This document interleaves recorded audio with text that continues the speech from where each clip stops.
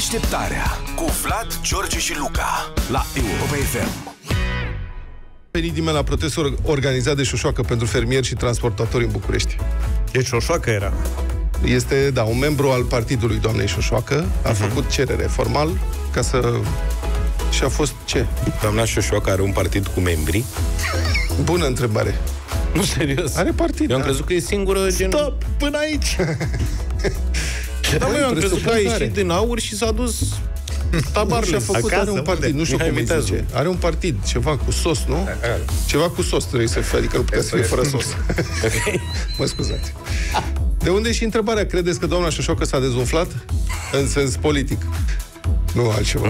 Nu, Nu cred, eu cred că a fost foarte să plin. nu se înțeleagă altceva. Eu deci, cred Ia dați-ne mesaje, fiți atenți. Deci, dacă, acum serios vorbind, ce credeți că o să facă în alegeri aceste, acești politicieni foarte zgomotoși și partidele lor? Doamna Șoșoacă și domnul Simion. Că sunt super zgomotoși. Și unde este un loc de scandal, trag ca musca. Se duc la scandal imediat. Dar trebuie să recunoaștem că sunt uh, nativ, cred, Da. da. ambii, foarte bine pregătiți Da, da, mă, pentru genul trebuie ăsta de acțiune. Adică trebuie să, să simți când trebuie să când reacționezi și aduni Băi, trebuie să fii construit public. în felul Exact, ăsta. da, da, da, da, da. Îți fac o paralelă, sigur, nu are legătură cu politica, dar trebuie să fii construit să gândești într-un anume fel. Uh-huh. Am avut cu ceva timp în urmă un coleg care el făcea partea de monden can-can pentru diverse emisiuni. Uh-huh.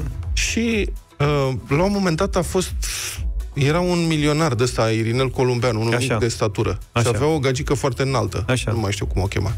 Și ei stăteau pe... De ce te uiți tu? Că Nu, chiar nu, nu, mai știu te cum o ascult. chema. Irina, parcă. Irina nu? o chema? Mă Parcă. rog, cu el, Eu cu mă gândeam, soția sau lui, sau Monica. iubita lui, sau Monica. Monica. nu știu, stăteau, avea o vilă la Snagov, înțeleg că a ars, că omul e falit acum. Dar atunci ei stăteau la Snagov. Avea o vilă frumoasă pe malul lacului. Și s-a întâmplat ceva. Și toată presa s-a îngrămădit, presa de Monden, Cancan, nu știu ce, s-a îngrămădit la poartă să-l aștepte pe domnul Columbeanu să facă nu știu ce declarații. Și ăla nu ieșea. Ei, colegul ăsta al meu a fost singurul care s-a dus, a închiriat o barcă. Și l-a luat pe mă lac. jur. Deci, și filma din barcă și un megafon, mă, băiatule. Înțelegi? Și el se plimba cu barca prin fața vilei pe lac și la megafon striga, domnul Domnul Columbeanu nu ieși să dați o declarație. Domnul Columbeanu, ați bătut-o pe, cum o chema pe aia, sau ceva ce s-a fi întâmplat acum. Da, Da, nimeni deci- nu s-a gândit, deci trebuie să ai mintea făcută în felul ăsta. Ce? Vorbim liber, Vorbim facem liber, radio. da. Da. Apropo de doamna Șoșoacă, deci, cum spuneam, n-a venit nimeni la protest organizat de Partidul Dânsei pentru fermieri și transportatori, pentru că după unele ezitări, primarul general Nicu Șordan a aprobat în cele din urmă o cerere pentru organizarea, trebuia să fie ieri. Un meeting protest politic care a fost inițiată cererea formal de un membru al partidului Dianei Șoșoacă și primarul a declarat că legal n-are motive să refuze meetingul și ce să vezi, s-a înscris la meeting un singur camion. A venit un camion și înțeleg că a mai venit un tractor pe platformă, atât în Piața Revoluției și au și ales, mă, Piața Revoluției, dita mai piața mare acolo la și Palatul cea mai mare, Parlamentului, da. da. Și erau, acum eu așteptam comunicat din partea uh, organizatorilor și din partea forțelor de ordine, ca să citeze presa, să spună, potrivit forțelor de ordine, au fost doi manifestanți. Organizatorii insistă că au fost totuși trei. Da. Deci așteptam asta. Deci v-aș întreba, dar mai avem timp, nu știu dacă mai avem, Mai avem timp, dar ce credeți că o să facă în alegeri politicienii aceștia? Doamna Șoșoacă, domnul George Simion. Serios vorbind, credeți că o să rupă? Că toată lumea pare a fi preocupată de câte voturi o să ia partidele acestea două. Aur și nu știu cum se cheamă partidul domnului Șoșoacă, cred că... Sos ai zis, nu? Da, Ia sos, cu cred sos. Că. SOS se cheamă, mă, cum se cheamă? Să ești ceva. Stai așa că au venit mesaje. Bună dimineața, băieții! Dacă 70% din populație a ieșit la vot și nu 30, aur, aur și sos, SOS, n-ar face pragul electoral, dar deșteaptă-te române. Dar de, de ce crezi că cei care au ieșit la vot n-ar vota vota cu aceste altceva, par, vota da. altceva? Poate votează tot asta, nu? Da, îi spune SOS România, îi spune. SOS Bun. România. Partid... Da. Pe care e sos românesc. Da. Neața băieții, sunt Ionuț din București. Salut. Cred că domnul Simion o să adune ceva oameni, că sunt mulți simpatizanți de-ai lui și dintre prietenii mei. Dar cred că doamna Șoșoacă, nu, cred că nimic, cred că o să desumfle de tot. Ok. Doamna Șoșoacă o să facă, poate, poate o să facă ceva. Acum problema aici o să facă data viitoare, pentru că toți care ne-am vaccinat o să fim fertili timp de trei generații. Nu știu, ajutați-mă și voi. De bun e asta. Neața băieți, băi Vlad, sincer o să avem niște surprize De la Șoșoacă nu, dar de la Simion da. Adică se vor face niște alianțe acolo, o să vezi.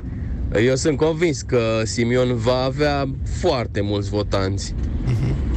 Dar dar ar trebui să întreb, dar ce diferență vedeți între Șoșoacă și Simion?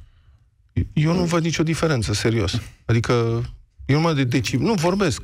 Adică nu, serios vorbesc, nu mai râde, mă, Zaf. nu mai... Stai că mai avem un Nu mai mesaj. râde, mă, e serios. Nu întreb. râd, dar, Care e doamne, diferența între am- acești doi politicieni și partidele lor? A venit un mesaj apropo de faptul că spuneai că n-au venit decât 2-3 oameni. Da. Se întreabă cineva și camioana n-a apărut. Bă, este foarte urât. Nu, ne delimităm de astfel Bună de dimineața! mesaje. Chiar mă bucur că aceste două partide, acești doi politicieni, Simion și doamna Șoșoacă, au început să le mai pice un pic din elan. Adică unii oameni s-au mai trezit la realitate. Aici vorbesc de, tra- de transportator, pardon, și de cei care erau așteptați la meetingul doamnei Șoșoacă, meeting programat pentru vreo trei zile. Deci, lucrurile merg într-o direcție bună. Văd că oamenii deja nu mai sunt așa de entuziasmați de acești doi politicieni și de partidele, partidele lor. Deci, trezirea românii. Să nu fim chiar așa de entuziasmați. A fost și foarte frig în București. Eu cred că a contat și lucrul ăsta, pentru că altfel măcar niște gură cască toți ar fi adunat pe acolo E adevărat să că- facă niște transmisiuni pe TikTok. Atunci când au fost manifestațiile din uh, Piața Victoriei cu ordonanța 13, era caniculă. De s-au Dar nu strâns era 60 de chiar mii atât de de frig. oameni. Nu Cum era mă, nu chiar era atât. de frig? Era gerul de pe lume, erau minus Da? 15 grade de uitat. Iar domnul Simion, l-am văzut și dânsul a încercat să se lipească de protestele astea, s-a dus cu o mașină acolo, a intrat în interacțiune, am văzut la televizor. A interacționat cu un domn care părea să fie ori fermier, ori camionagiu serios, Așa? care mai avea un pic și... Deci l-a amenințat că îi trage, mă scuzați, o smetie în bot. Și a reproșat, l-a întrebat politicos ce te uiți cu ochii aia, citez acum, ce te uiți cu ochii aia beliți la mine. și a plecat. Deci, zău, adică au fost niște momente dificile, cred, pentru acești uh, doi politicieni români. Diferența? 80 de kg. Aoleu, ce urât. Nu, Nu, ne e urât, e delimităm. urât. Nu, este, nu sunt de acord să avem astfel de Diferența dintre interpretări. Șoșoacă și Simion este că el este bărbat și țara noastră încă trăiește în secolul trecut. Aha. Ok, Deci s-a găsit e și asta totuși o interpretare. o diferență. Mulțumim! Deșteptarea cu Vlad, George și Luca la Europa FM.